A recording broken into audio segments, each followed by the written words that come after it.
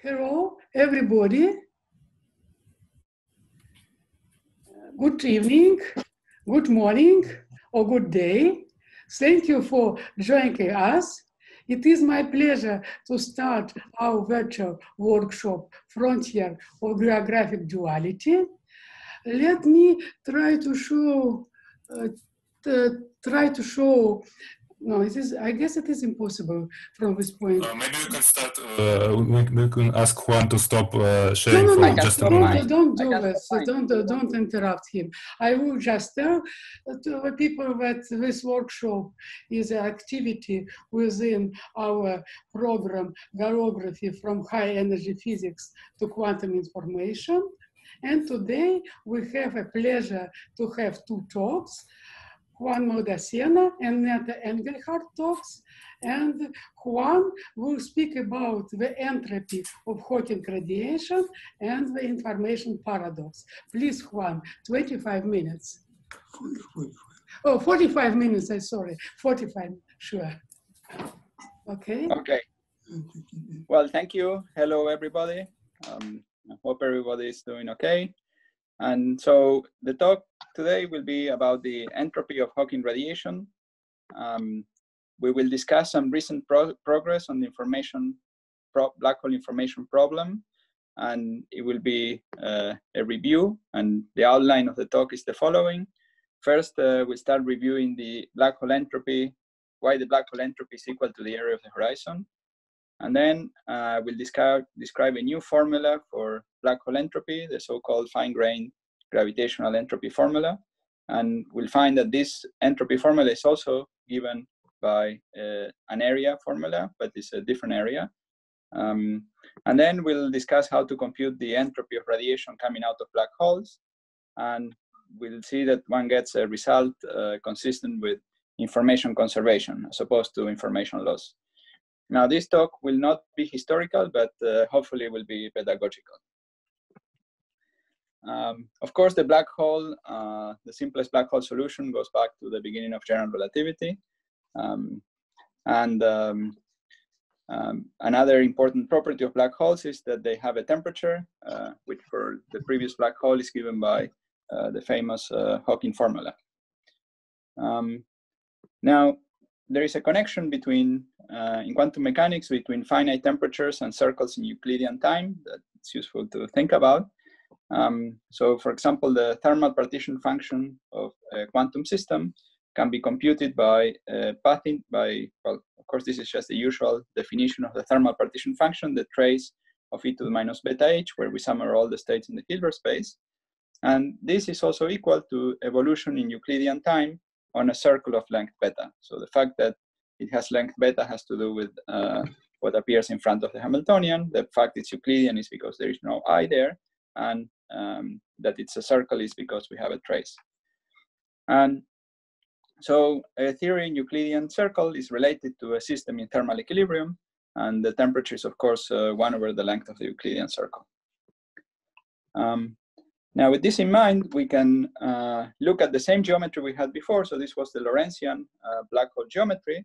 And we can uh, go to Euclidean space. So we take the time and we make it uh, Euclidean. We find uh, an interesting geometry. So this is a completely uh, geometry with without the time direction, all, all our space directions. Um, and here is the circle. This is the Euclidean time direction. And so far away, it's a circle of we, we will take it to be a circle far away. And if we take it to be a circle of an appropriate radius, uh, then we find that the geometry is completely smooth uh, at the point where, which was the horizon in Lorentzian signature. So this point r equal to rs, which uh, in Lo the Lorentzian signature was when the metric was shrinking to zero, the redshift factor. Uh, now in Euclidean space, it also continues to shrink to zero. Um, but if we choose the radius of the circle appropriately, uh, it shrinks to zero in the same way that the circle around the origin of Euclidean space shrinks to zero. So it's the purely coordinate singularity. So it's a completely smooth geometry. Um, that's as long as we take uh, the radius of the circle to be given by uh, 2 pi rs. Um, and that's precisely also the, the, the, formula for the Hawking temperature. So the temperature of, um, so we can interpret, so this is perhaps the simplest way to derive the the, the Hawking temperature formula, which has um, do this, and then far away, uh, the, the circle will have this size, and that's the temperature we'll see far away from the black hole. Of course, if we are at some radial position closer to the horizon, uh, the circle is smaller, and an observer that sits at the fixed radial position there will see a higher temperature. Um, now, uh, this formula for the temperature um, allows us to define an entropy using the uh, first law of thermodynamics. So we, we know the energy, which is just the mass, and we know the temperature is a function of the mass, so we can integrate this formula to find uh, this uh, formula for the entropy, which uh, turns out to say that the entropy is equal to the area of the black hole horizon. So that's the area of the surface at the tip of this uh, of this geometry we had here. So the geometry um, in the radial and Euclidean time direction has the geometry of a cigar, so it has constant size far away, and it shrinks at the origin. And on each point, uh, on each point on this cigar, we have a two sphere of some radius. So the, the radius of the two sphere goes to infinity as we uh, go to infinity, and is goes to some constant uh, equal to the area of the horizon at the horizon. So uh, we get this formula, which uh, gives us uh, the black hole entropy, and is proportional to 1 over g Newton. So in the limit that g Newton goes to 0, it goes to infinity. Now, from this, we, we learned that the black hole is a thermodynamic object. And this is, uh, this is surprising. This was surprising when it was first found. And in fact, in the um, Bardeen, Hawking, um, and um, Carter paper, they noticed this form, this analogy between black holes, the black hole formulas for the first law of thermodynamics, and they explicitly said, but this does not mean that we have an actual temperature. And then Hawking a, year later uh, came up with the, the idea of the temperature. So it was surprising to, to the people who discovered this. Um, now, of course, we are somewhat used to this, um, but um, but well, before we, we discuss in more details uh, some aspects of the entropy, it's useful to review in a little more detail the space-time geometry of a black hole. So this is the space-time geometry of a black hole made from collapse. Uh, these are Penrose diagrams where um, on each point on this diagram there is a two-sphere. So we're going to consider in this talk only spherically symmetric situations. Uh, of course, you could do this without spherical symmetry, but just to do the diagrams, it's easier to do it with spherical symmetry. And um, uh, this is the so here the, the horizontal direction is roughly space and the vertical direction is uh, roughly time. And the um, 40, 45 degree lines are trajectories of radially outgoing or radially ingoing uh, light rays. So this is a radially ingoing light ray. And uh, here we're representing the geometry of a star.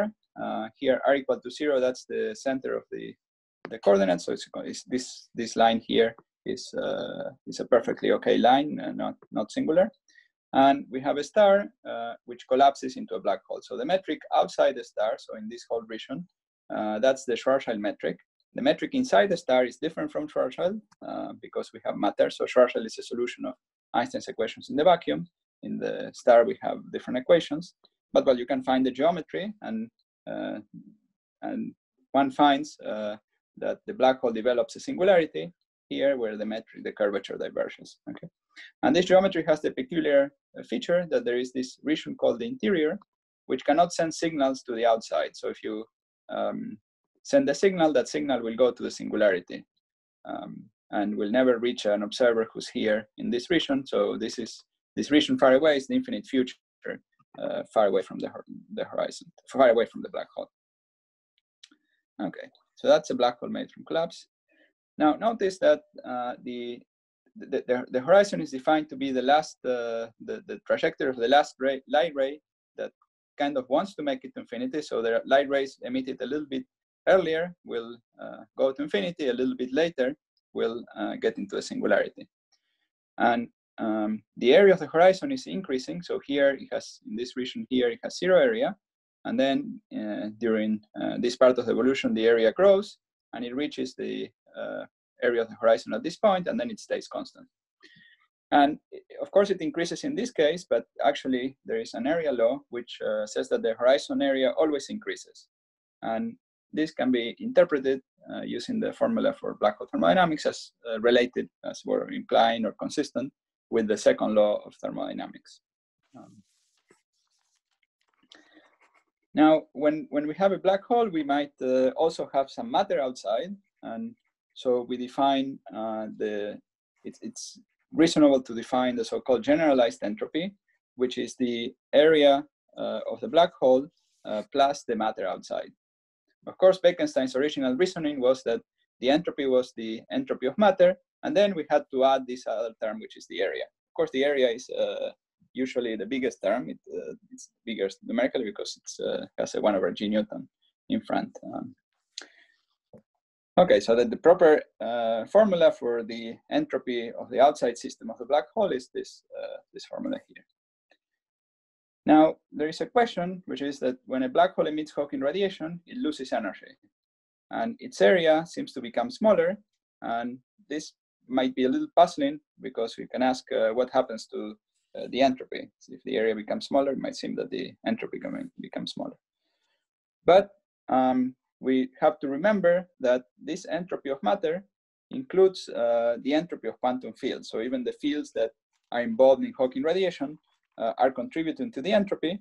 And so when the black hole evaporates, uh, these fields uh, gain some entropy, which is bigger than the decrease in the area, so that the second law is obeyed. And one can um, prove that uh, once you put in here the entropy of the quantum field theory, so this is um, the full quantum field theory uh, von Neumann entropy of the region outside the black hole horizon. And once you include this piece, uh, this, uh, this obeys the second law. So now it obeys the second law, even including uh, quantum mechanical uh, features. And this was, this was only proven in, uh, in, 20, in 2020, 2010.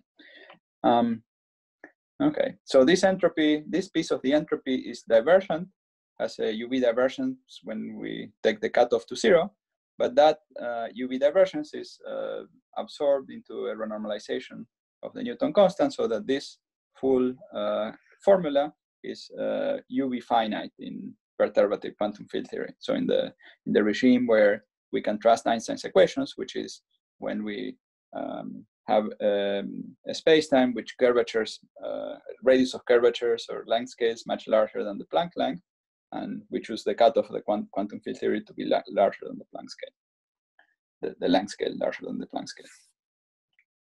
Now these results, uh, of course, are, are fairly old, but they have inspired a, a central hypothesis and uh, sometimes uh, you can call it a central dogma, similar to the biologist central dogma that information goes from DNA to RNA and so on. So this is a central dogma about the uh, way information is stored in, uh, in space-time or some features about information in space-time. And so this is a, the central hypothesis or central dogma for black holes as quantum systems, which says that a black hole as seen from the outside can be described as a quantum system with s degrees of freedom or s qubits, where s is the area of the black hole in Planck units. So it's uh, the formula given by the entropy essentially. So, um, and not only that, but uh, also uh, as seen from the outside, it evolves according to unitary evolution. So roughly speaking, what saying is that if we have a black hole um, and we focus, let's say we have some, uh, some we, cut, we consider the region including the black hole and whatever is outside the black hole, so this uh, uh, quantum matter that is fluctuating around the black hole, and we take that whole region, that whole region can be uh, replaced by a system of qubits. Um, now, these qubits are not, uh, or this, this Hilbert space, which has finite dimension and so on, is uh, not very manifest in the gravity description. We don't, we don't know how to see it very explicitly in, in the gravity description. Um, we think it's a property of a consistent theory of quantum gravity. Um, so that's why this is a hypothesis. It's not something that you, we, we learn how to derive from uh, the rules of, of gravity, at least of uh, the gravity theories, uh, general gravity, semi-classical gravity theory. Now, there is some, um, now once we have that, we can interpret this type of calculation as um, given, so this trace over Hilbert space would be the trace of those mysterious uh, qubits of the Hilbert space. And the right-hand side here is a gravity computation, where, which we do with gravity, and then we could even multiply by the partition function of quantum fields in this geometry and so on. Now, something important here that we should keep in mind is that this uh, formula here, which is very concrete and where, which we can compute very precisely, uh, order by order in the G Newton expansion, tells us the answer, but it does not tell us what microstates we're counting. It does not give us an explicit uh, description of the microstates. So the left-hand side here, so this piece is uh, somewhat mysterious. And um, so, okay. Now, what's the evidence that this is correct? So we have evidence from very concrete theories of quantum gravity, like uh, string theories and using D-branes and so on. So the black hole entropy formula, starting with the work of Strominger and Vafa, gives us uh, some, some evidence that this is correct, um, and which reproduces the area formula. Then we have uh, ADS-CFT or holography, which tells us that we, we have a black hole inside, inside ADS. In this case, we can replace this whole region by a very concrete quantum field theory in the boundary, and there we have a, an explicit description of these degrees of freedom. Um, but we have a kind of mysterious relationship between those degrees of freedom and the actual geometric description. Um, okay, so that's uh, some evidence, but um, there was, uh, in 1976, Hawking said that this cannot be true. So he, he had some argument that this picture uh, could not be correct. Um, and what he said was he considered this geometry of a black hole uh, made from collapse, but now accounting for the effects of evaporation. So the idea is that when we have the geometry made from collapse, we have a, a piece of a portion of the geometry which is similar to what we had before for the collapsing black hole. But now we have Hawking radiation, and uh, so we have the Hawking radiation that uh, goes away. So it's made out of pairs. So one is uh, a mode that goes away, and another is a mode that goes into uh, into the black hole. And these pairs are entangled. And as long as we consider the full surface, uh, we have a pure state. But once the black hole evaporates completely and we have in the future region, just uh, in this region, we have the geometry essentially of Minkowski space um, with some radiation. And when we consider just this region, so just the outside, uh, remember that this uh, central hypothesis is a, is a, statement about what happens outside. When we have this description outside, we are forgetting about the interior. And so the entanglement that we had uh, between the radiation modes and the, its their partners that are inside the black hole would give rise to a non-zero uh, entropy here outside. Okay, and so um, he he said, well, uh, imagine you form a black hole from a pure state, and then as a function of time, you will see that the entropy. So here we're computing the entropy of the outgoing radiation. We'll see that the entropy follows this green curve uh, that rises and then uh, and then stabilizes. So this is after the black hole evaporated completely. Uh, of course, it's not it's not linear. We just just should uh, take this picture that it essentially rises. Um, and on the other hand, the the entropy, the thermodynamic entropy of the black hole, which is given by the Earth horizon, uh, steadily decreases until it uh, goes all the way to zero when the black hole evaporates completely.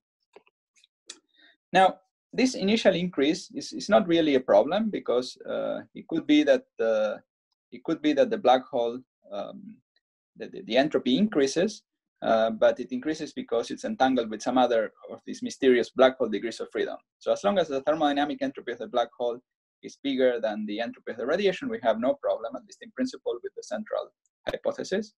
But once we are here, where the entropy of radiation is bigger than the thermodynamic entropy of the black hole, then we have a problem because if we are going to claim that we have this whole system in a pure state, uh, it cannot be that this is entangled with something that has less degrees of freedom. So the dimension of Hilbert space is given by this, uh, by this value, which is less, and so it cannot uh, it cannot work. So then, um, therefore, um, Don Page said that the the true entropy of the radiation should follow this other um, purple curve. So it should start going down when the entropy of the black hole goes down.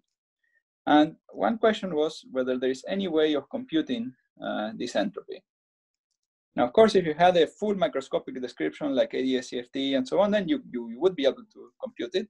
But the question is, how do we get this uh, computation from sort of gravity formulas? Um, I should say that there were other apparent paradoxes with the black hole entropy formula, and I, will discuss some of them because it's useful uh, way to, to think about this. Um, so one other uh, funny formula, um, funny geometry, is the geometry of the full uh, Schwarzschild solution. So this is the solution where you take the, the original metric that was described in this uh, exterior region, and then you analytically continue it everywhere, and then you find that the actual geometry describes two exterior regions, the, the, the original one we had and a second one, which is essentially identical, and these two exterior regions are sharing a common interior, both a future and past interior. And this is a vacuum solution with no matter um, and solution of Einstein's equations. Um, and now um, you can ask, uh, well, so that's a funny feature. So what, what entropy are we computing in this case? Um, we, the, the whole state here along the surface uh, is a pure state, so it's, it's, a little unclear what entropy we're computing. Um, so that's one question. So another question is, there are other geometries which we can build out of uh, this one here. So we can replace the right exterior not by uh, flat space, but let's say a closed universe. Um, and then what we have is uh, a geometry whose spatial slice contains, uh, well, a flat space region far away. And then we have this big closed universe. And here uh, we have a region which looks uh, very similar to the black hole solution we discussed with two asymptotic regions. One is the flat space region and the other is this uh, closed universe region. And so now uh, we can ask, uh, well, let's say we describe the system here from the outside, from this region. From this region, there is this hole uh, which looks like it's behind the horizon, this region. Uh, this region here in the bottom, this uh, closed universe is behind the horizon. And the question is whether we should include the entropy of whatever is here. We could have a very big closed universe with galaxies and lots of entropy, which is bigger than the area of the horizon. And if uh, the entropy inside, so the S inside, is bigger than the area of the horizon, then it looks like we have a kind of paradox apparently, or at least we definitely, this is a configuration which is a counterexample to the idea or the statement that the area entropy, this formula for the entropy, counts the entropy in some sense inside the black hole. By inside, I mean the region that is spatially, uh, well, which on a spatial slice is behind the horizon. Now we'll see now how to resolve this, uh, this, these confusions and resolving these confusions will help us uh, understand also the black hole case. Now, this, all these confusions involve the black hole interior, and also, they involve computations of the fine grain entropy, not the thermodynamic entropy. I'll try to explain better what the relationship is between the two. And, and, and these confusions also involve the notion of entanglement. Now, first we have to go back to basics. And um, in the central hypothesis, this is state, the statement again of the central hypothesis. And here, um, it's important that this is telling us that um, we have a quantum system that describes the black hole as seen from the outside. Right? That's what we are talking about here. Um, and so it's not, no statement has been made about uh, the inside yet. It's only a statement for the time being about the black hole as seen from the outside. Now, so now let's go uh, first to back to this uh, two-sided Schwarzschild solution. So now uh, we have two outsides. Um, so we could imagine these two are in uh, basically the same geometry, but very far away from each other. So this is again a geometry very closely related to the one we discussed before. Um, here the two interiors are connected as they are connected in the Schwarzschild, the maximal extended Schwarzschild solution.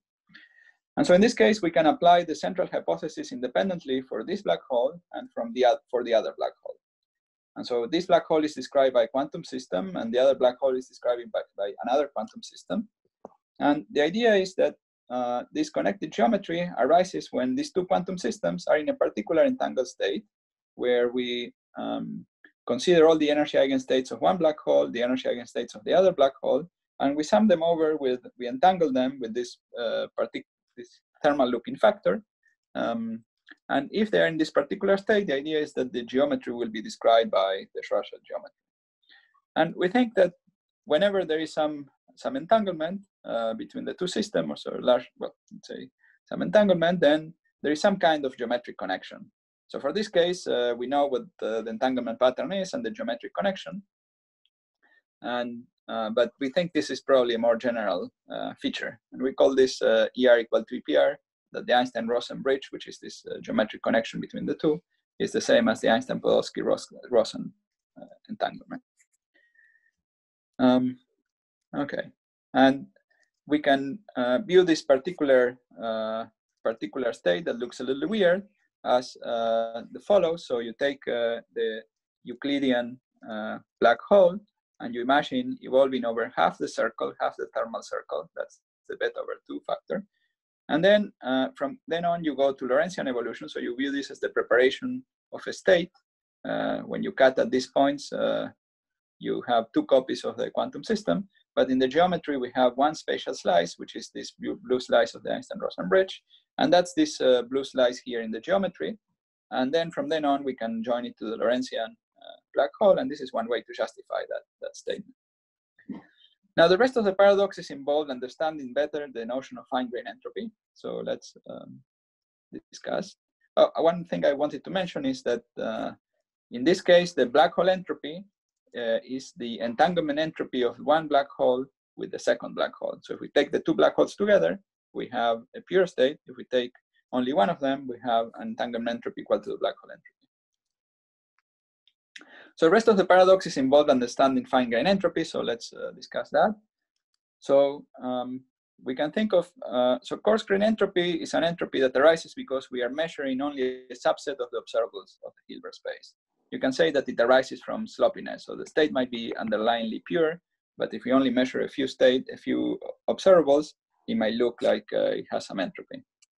Uh, for example, we could have a gas uh, in a room that starts from a, a, corner in the room, so it will have relatively low entropy. If you let it evolve, it will fill the whole room and it will be essentially indistinguishable from one that uh, is in a completely random state.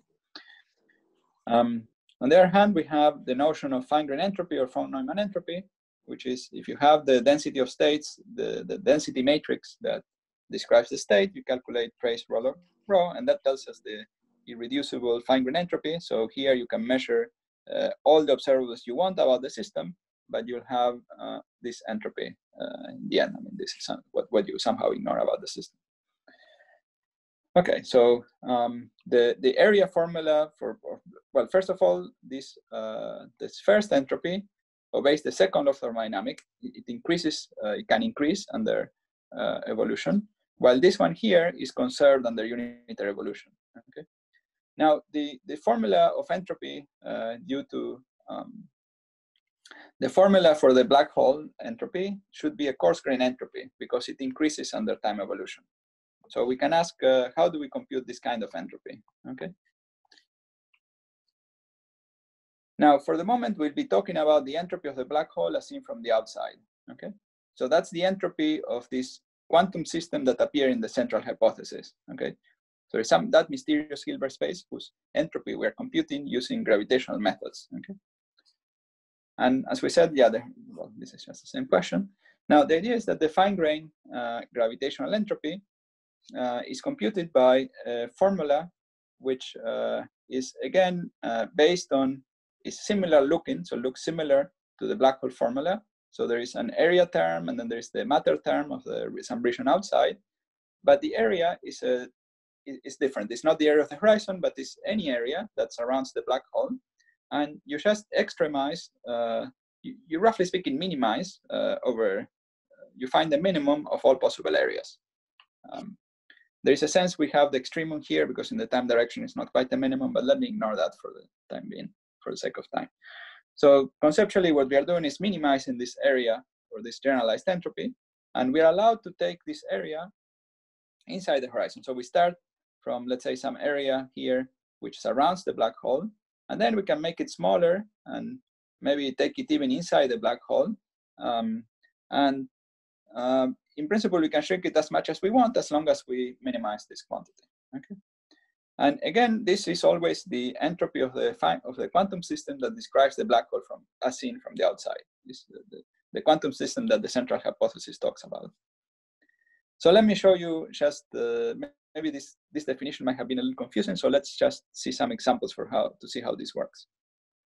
So let's discuss, for example, a black hole as formed from collapse. So this uh, violet surface is uh, the, uh, so we had the black hole and then we had, we're considering the entropy of some region which is within some surface of some radius capital R, very large, much bigger than this. And this is this surface here, okay, the purple surface. So we start from the purple surface and we take an area and we shrink it and we compute the entropy from, we take the area plus whatever is outside the area. And we, when we shrink it, in this case, we can shrink it all the way to the center and we compute the entropy on this surface. And the entropy on this surface, um, well, first of all, the area here is zero. Um, and then the entropy on this surface is equal to the entropy of the star, the entropy of the star that formed the black hole. Um, and so in this case, the uh, entropy is the entropy of the matter that makes the star, and it's conserved. So it's uh, always you get the same the same value. Okay. So as, as we expect for fine grain entropy, this is different than the area of the horizon, which was increasing. Okay. So the area of the horizon here is increasing. So thermodynamic entropy grows, but the fine grain entropy remains constant. Okay. So if the entropy of the star was zero, then the the full fine grain entropy would be zero. Um, for the now we can do the same thing, but for this uh, Schwarzschild uh, wormhole. So we take just one side and we compute the entropy on one side here. We again take the surface, but the minimal area surface is here. So the, the along this uh, blue surface, the area of a sphere uh, decreases as we go from infinity to this point, and then from this point onwards, it, it starts increasing again. So the minimum or the extremum is really at this point, and that is again the area of the horizon. So in this case, the fine grain entropy is actually equal to the area and equal to the thermodynamic entropy. And there are also intermediate cases where uh, the fine grain entropy is between the, the, the, thermodynamic entropy and let's say something very small. Um, now, you should be surprised by the claim that there is a formula for the fine grain entropy, okay? So the, the previous developments on black hole entropy, the, that were saying that the, the entropy of black holes was um, given by the area of the horizon have led people to think that maybe geometry is a kind of uh, thermodynamic approximation or hydrodynamic approximation to black holes. Okay. Now, when we are doing dealing with hydrodynamics, we don't have uh, formulas for the fine grain entropy. We have um, we have formulas for the coarse grain entropy, but never for the fine grain entropy. So it's something special about black holes that we can have also a formula about the fine grain entropy we have a formula for the coarse grain entropy, and we, in some sense, black holes seen from the outside look like hydrodynamics. But because black holes have interiors, uh, they allow us to compute the fine grain entropy, and that's a very, uh, very special feature of uh, Einstein geometry and black holes. Now, it's useful to in, in, to discuss a new uh, a new concept, um, and uh, we'll um, we'll, we'll explain why, why we introduce it a little bit later. So we introduce this new concept, which is called entanglement wedge. And what we do is, as we try to minimize the entropy, we keep track of the region swept by the surface as it tries to extremize the fine-grained entropy, um, uh, the generalized entropy. So the region outside the quantum extremal surface is called the entanglement wedge. So let's just see how this definition works. So we start from some cutoff surface and we start shrinking. So this is the surface that we're shrinking, trying to extremize the surface. And um, so it swept so far this region, it might sweep more as, as it continues to go in. And um, so in this case, for example, it goes from here up all the way to the horizon. Uh, and then we consider the full causal development of this, so all the places whose evolution is determined by, can be determined by initial conditions on the surface. And this whole region of space-time is called the entanglement wedge. It looks a bit like a wedge, so that's uh, why it's called entanglement wedge. Um, um, so uh, again, this is uh, in the case of a black hole. Notice that the entanglement wedge in this this particular case uh, of the black. So in this previous case, it only contains a region outside the horizon. Is there a question? No. Okay. So um, in the case of a black hole that forms collapse, we said that the surface that minimizes is here. So in this case, the entanglement wedge covers a portion of the black hole interior. Okay, okay so let's go back now to the central hypothesis. And we saw that uh, there was a quantum system that was describing the black hole as seen from the outside.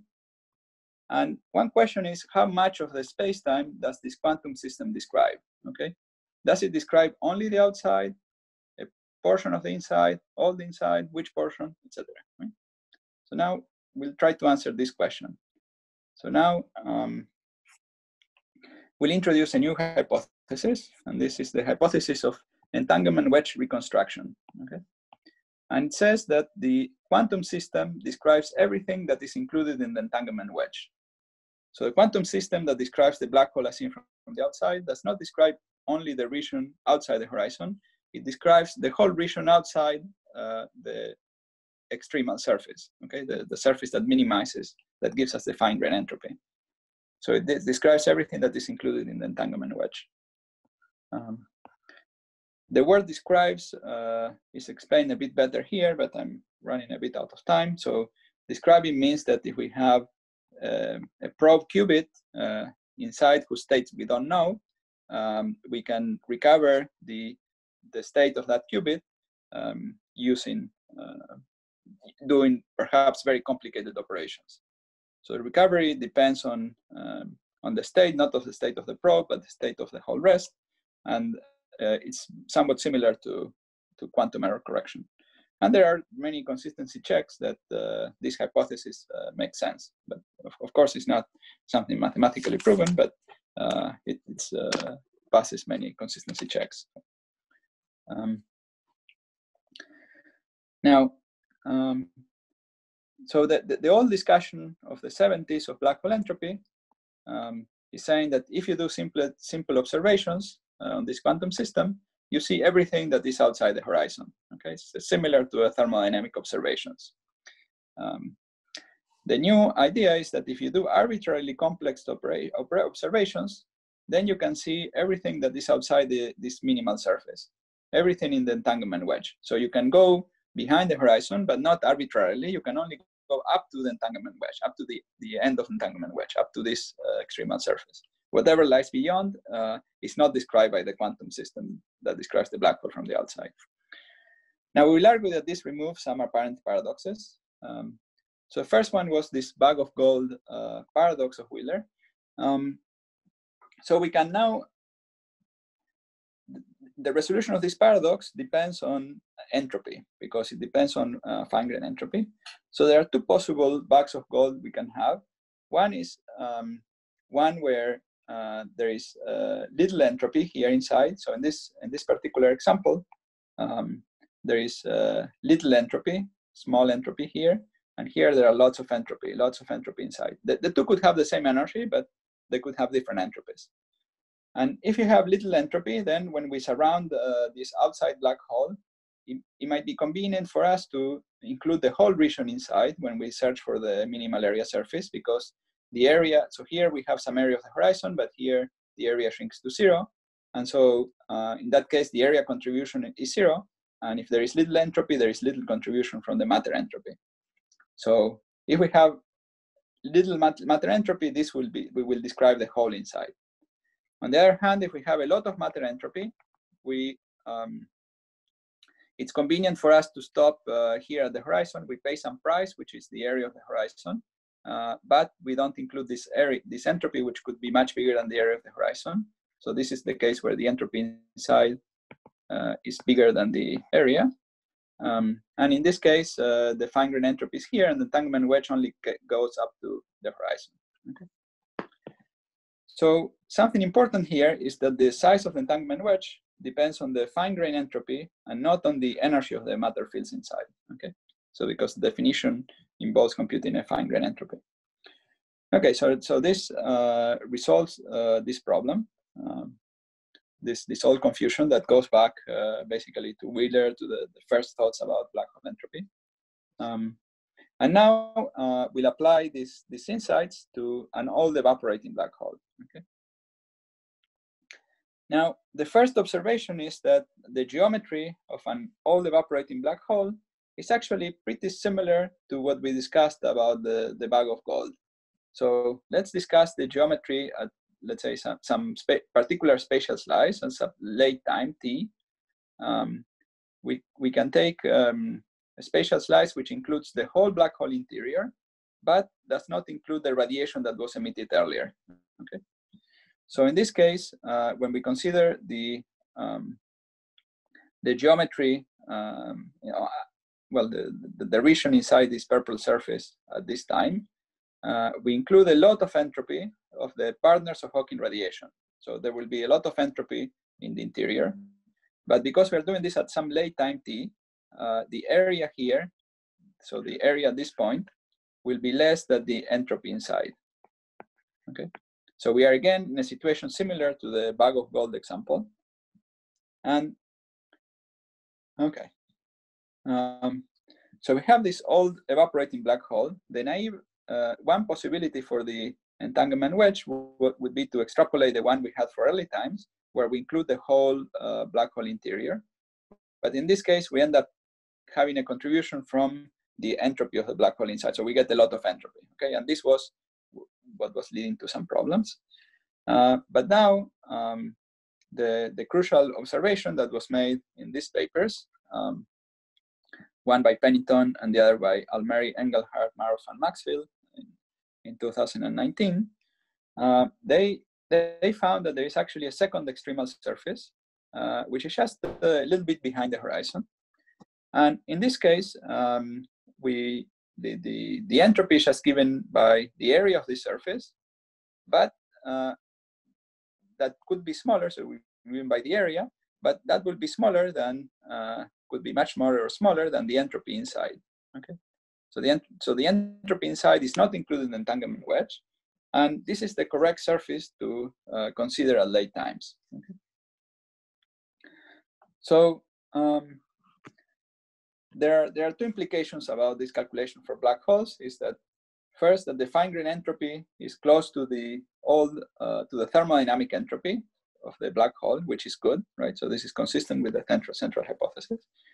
Um, and also that the quantum system uh, that describes the black hole from the outside is describing only a little tiny portion of the interior. So it's not describing this whole interior region here now, but uh, it's only including this region of the interior. Okay.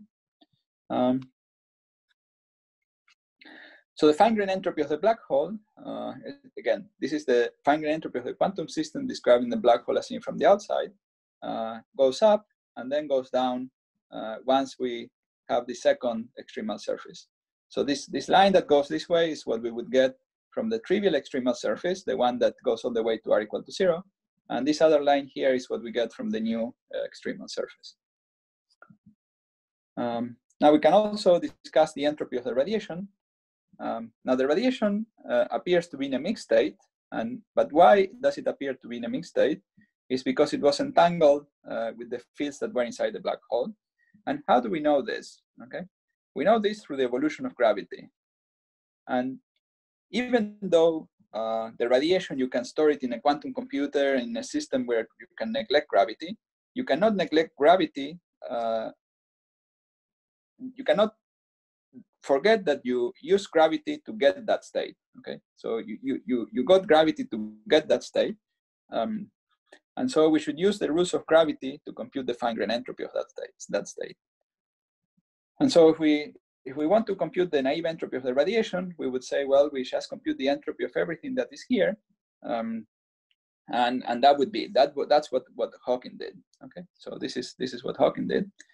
But now uh, we are we are told that we can use the rules of gravity, and the rules of gravity allow us to uh, put some extra surfaces and so on.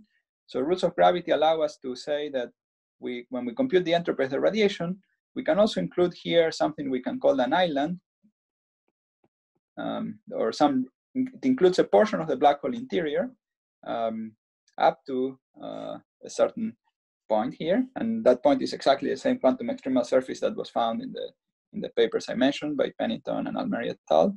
Um, and the idea is that now uh, this region will be in the entanglement wedge of radiation. Okay, so we, we saw already that this region was uh, did not belong to the quantum system describing the black hole. So this was the the region described by the quantum system describing the black hole. And the idea is that this portion of the interior is really being described by the radiation. Okay? This is what follows uh, very directly from these formulas for computing the entanglement entropy. in, in systems that contain gravity. So we have this, there is this new rule that includes uh, including these islands and so on. Now you might say, well, this is just an accounting trick, okay? So you, you haven't really done anything, you just accounted differently. But this accounting rule is the accounting rule that gravity instruct, instructs, instructs us to use, okay? And also the accounting rule was derived before it was applied to this problem. It's not that we made up this rule or people, uh, these other authors made up this rule for this problem. It, it's just simply that it was uh, the rule that was derived before, it was applied to this problem, and it gives us a, a reasonable or consistent answer for this problem. Of course, we, we should understand better this accounting rule and why gravity is using this accounting rule. And one can derive, uh, I, I ran out of time, but I one can, uh, let me just mention that one can derive this gravitational fine-grained entropy formula using a logic which is similar to the Gibbons-Hawking, uh, sim similar to the Gibbons-Hawking uh, Euclidean black hole argument. So the same um, formula that uses Euclidean geometry and so on can be used to uh, derive uh, this, this formula. Now, I should emphasize that this derivation does not tell us where the microstates are and so on. It has the same if you wish, drawbacks as the usual old black hole entropy formulas, uh, but it gives us the answer for the for the entropy. Of course, uh, if one had a full microscopic theory of gravity, then we would um, get this or holographic dual. And one little, well, maybe I won't even mention this. Uh, okay, let me go back to conclusions. So in summary, we reviewed the thermodynamic black hole entropy formula we described the new fine-grained gravitational entropy formula, and we applied it to the computation of the entropy of radiation or, or the entropy of an old black hole. And we saw that we got results uh, consistent with gravity. Now, a, a, lot of what we discussed was derived by thinking about aspects of AdS/CFT, which itself was used, was derived using string theory and so on. But for applying these formulas and for everything that I discussed today, uh, you only need to know gravity as an effective field theory to apply these formulas. So just gravity in the usual effective field theory treatment allows you to uh, derive these formulas, just uh, to, to, to, use these formulas. And I, I have to say that it, it's really surprising how clever gravity is. I'm really surprised it can do all this. And of course, we would like to get a more explicit picture of the microstates from the gravity point of view, right? So we have a, an explicit description of the microstates from the holographic point of view and so on. But how do we get that picture from the gravity point of view?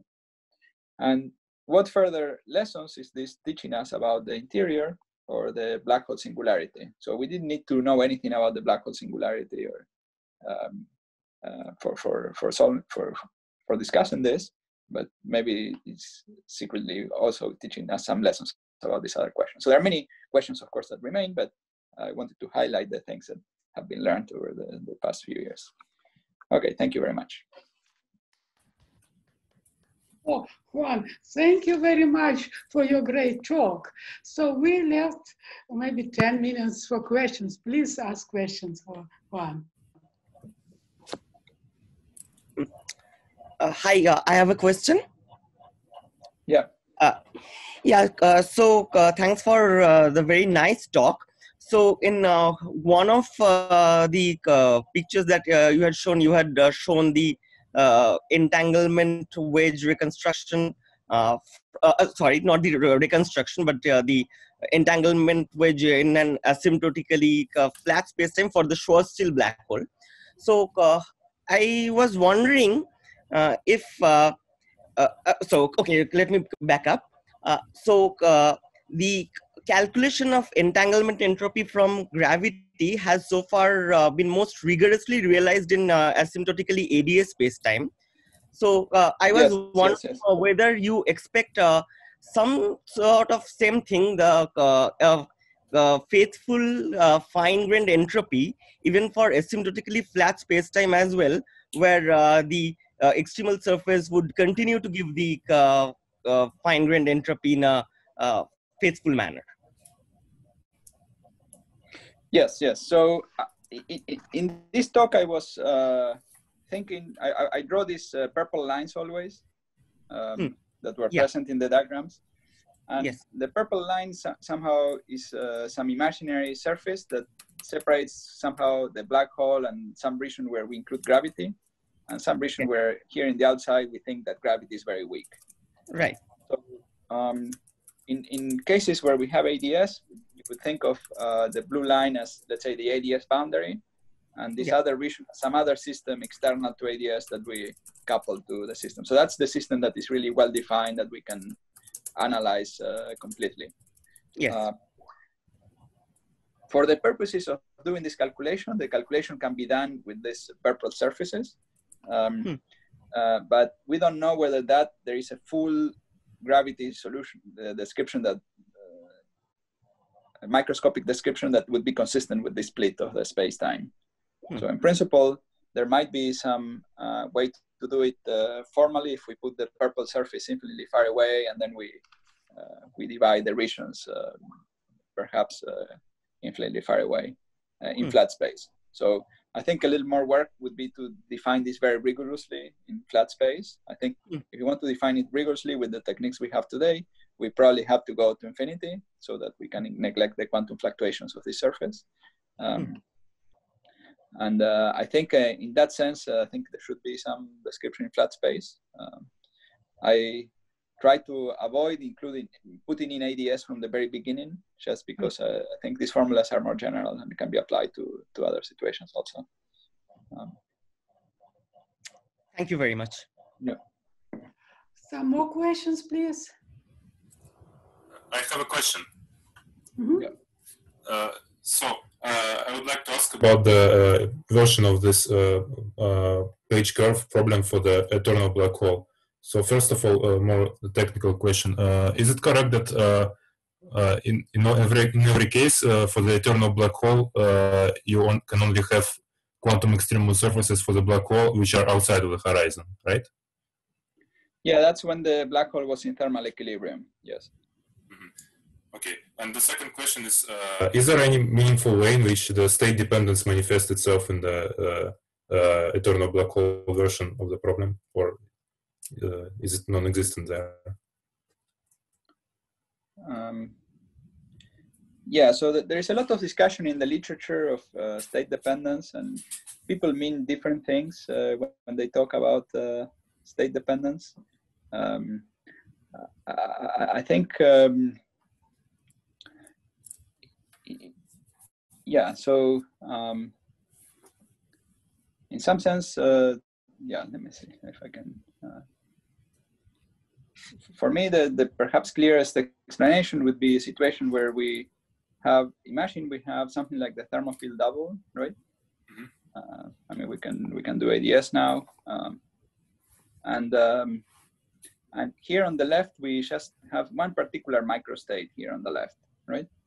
Um, and in some cases, like the SYK model, we can say we project on a particular uh, some particular state, maybe not uh, time independent, but some not an energy eigenstate, just some particular state. And in those cases, we think that the picture will be that there is here an end of the world brane on the left side. Okay. And the right side, we have the ADS boundary. And the idea is that if we knew which particular microstate we have here, uh, then we can reconstruct uh, the interior. So if we had another, let's say, probe qubit here, uh, we would, by doing measurements purely here, we would be able to figure out what this is. Okay, if we knew what uh, what we have here. Now, if we don't know what we have here and we sum over all possible states, or we, we just completely ignore this side, then you cannot reconstruct this. So in this sense, it's state dependent. You need some information about the state. Now, in many cases, you don't need all information. Of course, if you if you if you need to know what this is and also what this one is, then okay, that, that's like some extreme state dependence. But the state dependence we have is that if you know, let's say some at least some subspace of states that we have here on the left, uh, some big could be very big subspace, maybe uh, a fraction of the total entropy, right? Uh, then you can reconstruct uh, the state of a small number of relatively smaller number of qubits here. Um, but so it's state dependence in the sense that it depends on the density matrix rho of uh, the right side here. Okay. Okay, thanks. More questions, please.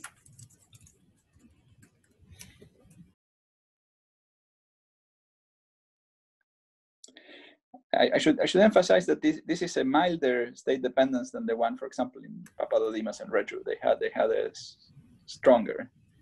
Uh, it would be nice to understand better the relationship. Uh,